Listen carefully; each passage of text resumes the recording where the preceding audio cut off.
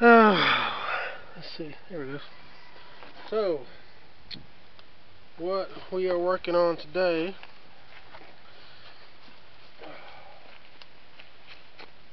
uh, text message from Corvair Wild.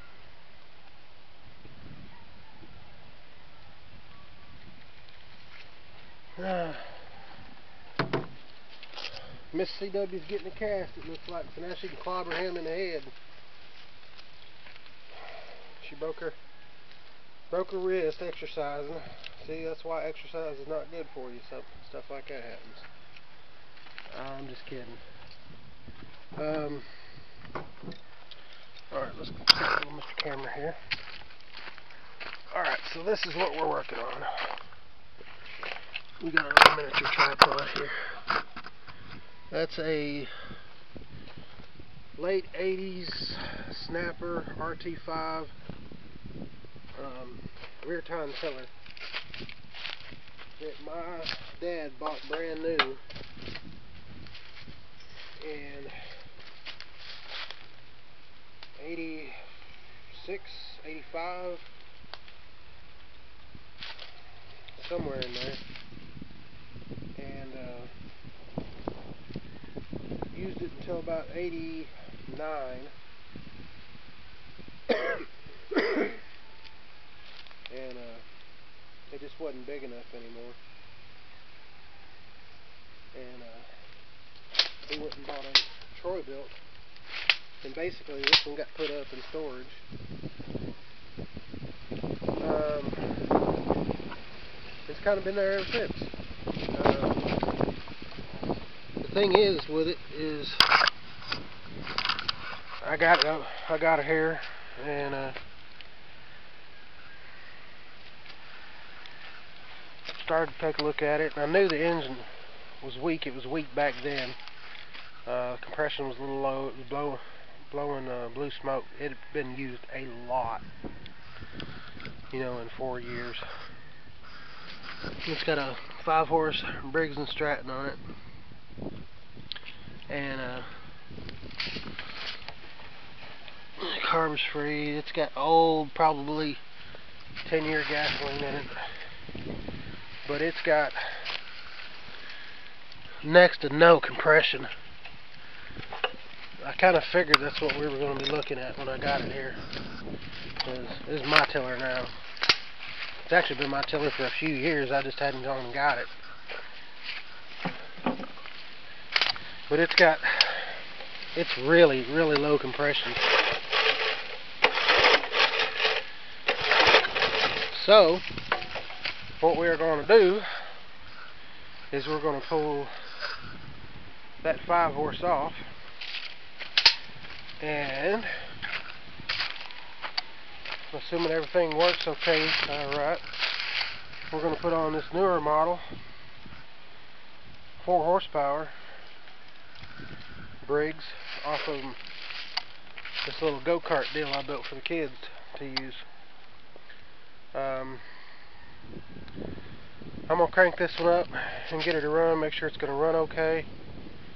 And then I've got to stand that one up on its end and pull the bottom plate off of it and make sure the shaft is the same size. I believe it is.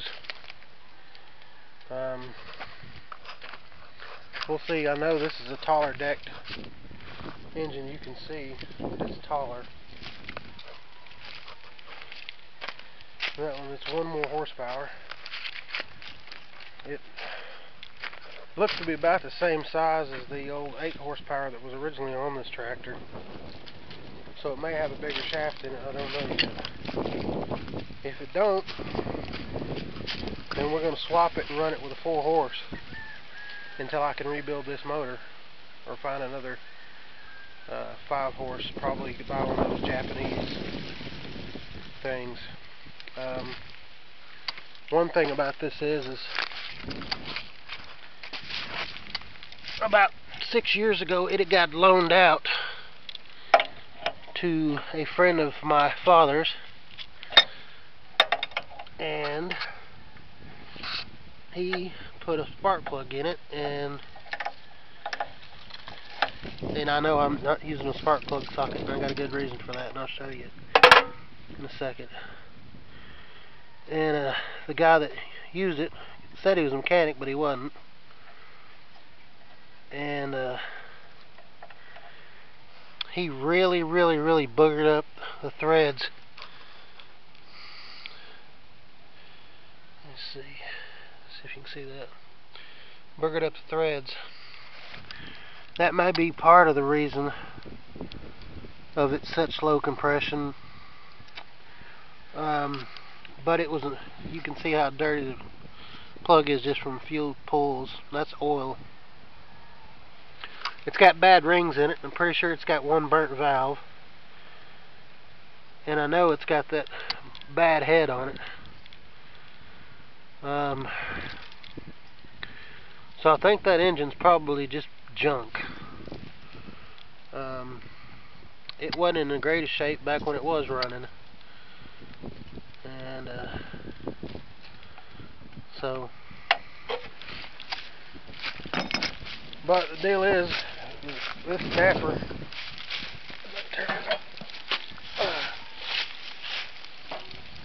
these are designed to actually sit up on my nose like that.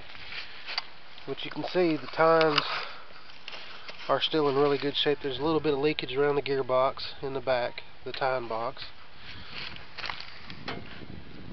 Little leakage around the uh, rubber bung plug. The clutch is dry rotted. But uh, all in all, other than the engine, this thing's in pretty decent shape for being as old as it is. So uh, we're going to get after it and we're going to tear this motor off of it. See what we can do with it because I got a lot of ground to break up for my garden this next year and I want to have a reliable one. I don't need one that's super powerful or that'll run super fast. I just need one that gets the job done. So if that four horse will fit, then we're going to go that route. If it won't fit, then I'm going to be hunting around for a uh,